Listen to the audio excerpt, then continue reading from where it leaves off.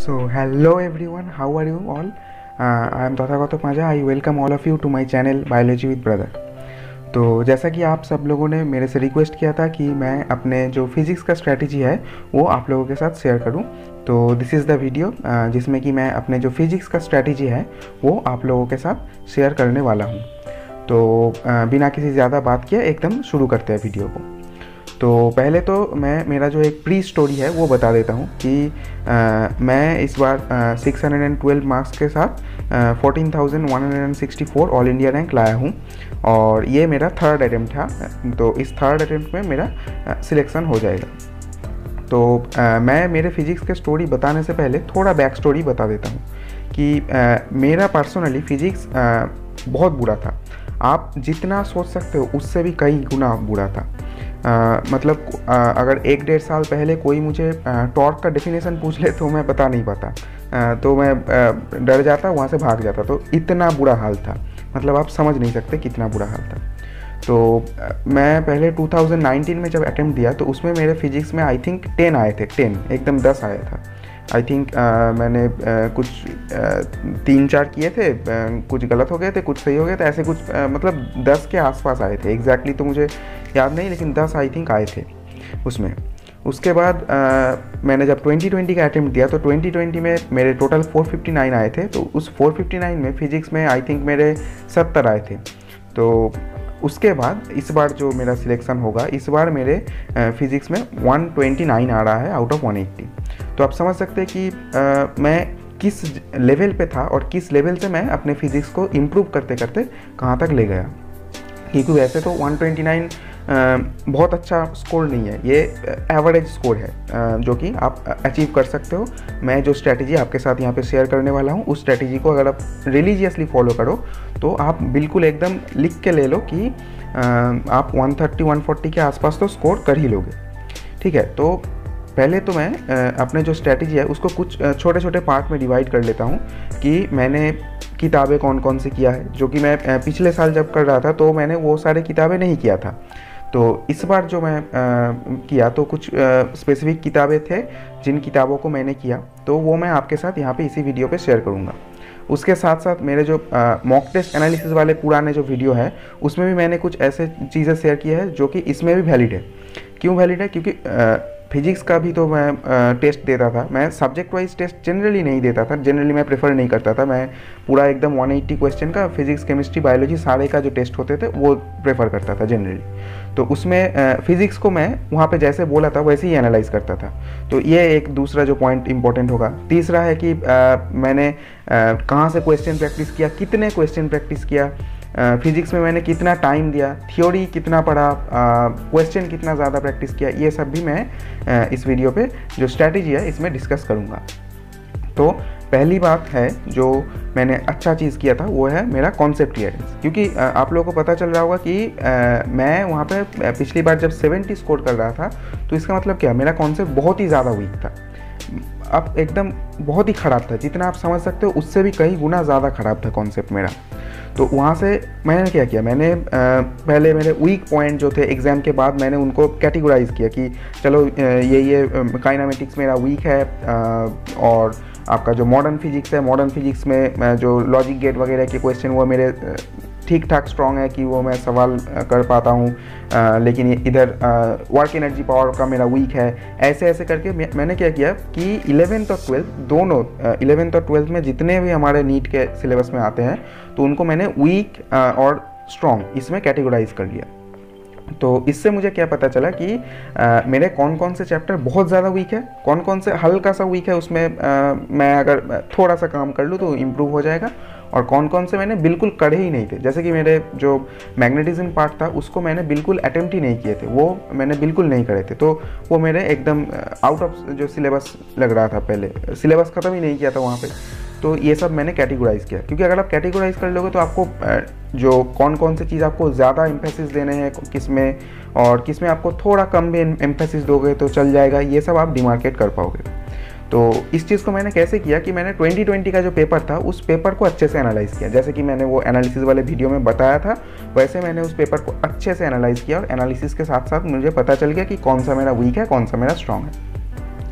उसके बाद मैंने जो किया, जो जो मैंने जो जो वहाँ पे वीक देखा तो उन वीक चैप्टर्स को मैंने दोबारा अच्छे से पढ़ा। जो और जो मेरा तो सिलेबस नहीं था, उसको तो पढ़ना ही था। वो तो सबको पता है कि जो सिलेबस ख़त्म नहीं हुआ तो उसको तो आपको भी पढ़ना ही पड़ेगा। लेकिन हाँ जो मेरा स्ट्रॉन्ग था, उसको मैं अभी तक भी ये स्ट्रॉन्ग है। ये तो मुझे पता नहीं है। हो सकता है कि मैंने बहुत दिन उसको रिवाइज़ नहीं किया तो वो वीक हो गया। ऐसा हो सकता है, सबके साथ होता है। क्योंकि अगर वो प्रैक्टिस में नहीं ना तो चलो भूल गया बहुत कुछ। तो ऐसा ना हो इसीलिए मैं उनका डायरेक्ट क्वेश्चन प्रैक्टिस करता था। हाँ मैं सिर्फ़ उन्हीं में डायरेक्ट क्वेश्चन प्रैक्टिस करता था। बाकी जो भी मेरा वीक है या फिर जो भी मेरा जो मॉडरेट है या फिर सिलेबस ख़त्म नहीं हुआ तो क्वेश्चन प्रैक्टिस का तो बात ही नहीं बनता। तो उन सब में मैं क्या करता था कि आ, पहले सिलेबस ख़त्म करो फिर क्वेश्चन प्रैक्टिस करो। लेकिन जो मुझे लगता था कि नहीं ये मेरा स्ट्रॉन्ग है तो उनको मैं पहले ही क्वेश्चन प्रैक्टिस करता था। चलो वहाँ पर अगर क्वेश्चन अच्छे से बन रहे हैं तो ठीक है ये मेरा अभी भी स्ट्रॉन्ग बना हुआ है। अगर क्वेश्चन नहीं बन रहे तो इसका मतलब मुझे इस पर भी काम करना पड़ेगा। तो ऐसे ऐसे करके क्या किया मैंने, मेरे जो कॉन्सेप्चुअल जो वीकनेस थे, उस वीकनेस को बिल्ड करता गया। धीरे धीरे वो आपका कॉन्सेप्ट भी क्लियर होता जाएगा और आपका धीरे धीरे उसमें कॉन्सेप्ट में ग्रिप भी आपका बनता जाएगा। इसके बाद इसके बाद जो है, मैंने अपने जो पुराने नोट्स है, जो कि 2020 में बनाया था, उन्हीं को यूज़ किया। लेकिन उसमें मैंने कुछ मॉडिफिकेशन किया। मॉडिफिकेशन कैसे किया? मैंने, मेरे 2020 के नोट्स में जो कमियाँ थे, उन कमियाँ को मैंने पूरा किया। उसमें कुछ थियोरिटिकल पॉइंट जो कि एन e में होते हैं तो वो नहीं थे।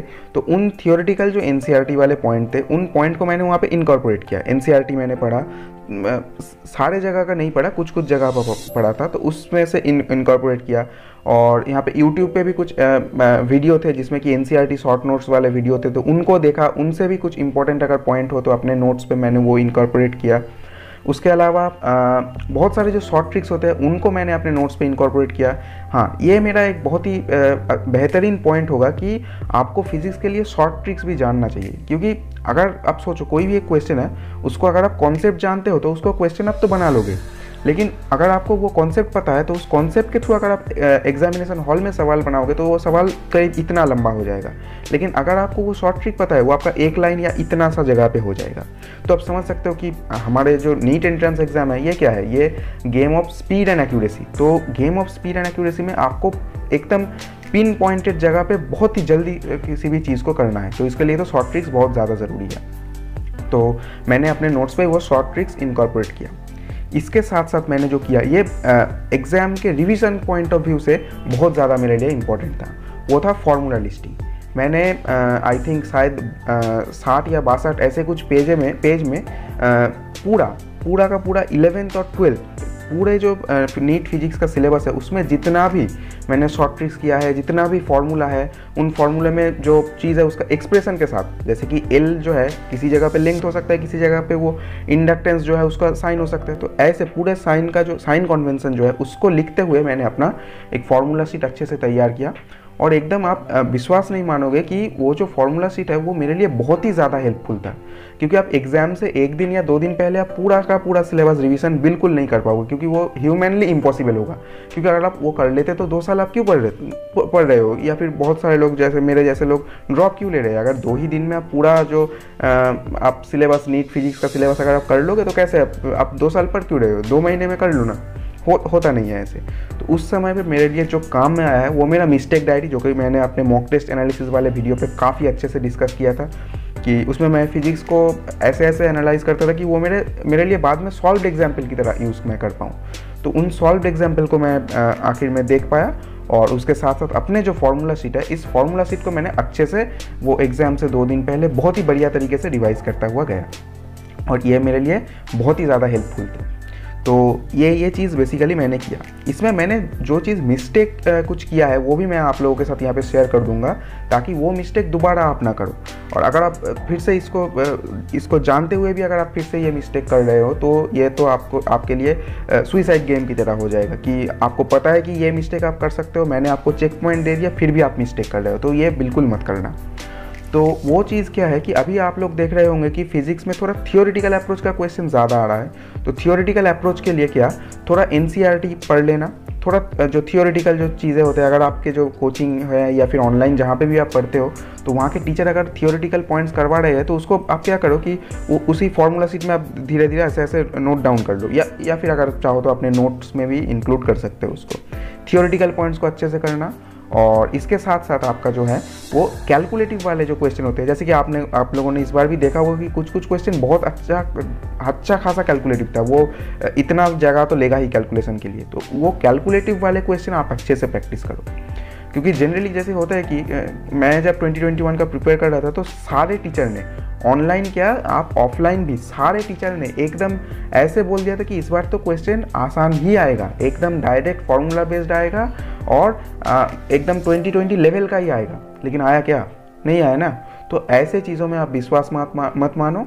आप एकदम प्रिपेयर फॉर वर्स्ट एकदम ऐसे ही आप प्रिपेयर करो कि कोई भी सवाल आ जाए मुझे फिजिक्स में 120, 130 या फिर 140 जो भी आप टारगेट कर रहे हो उस तक स्कोर करना है चाहे कैसा भी लेवल का पेपर आ जाए चाहे लोग कैसा भी करें मुझे ये अचीव करना है।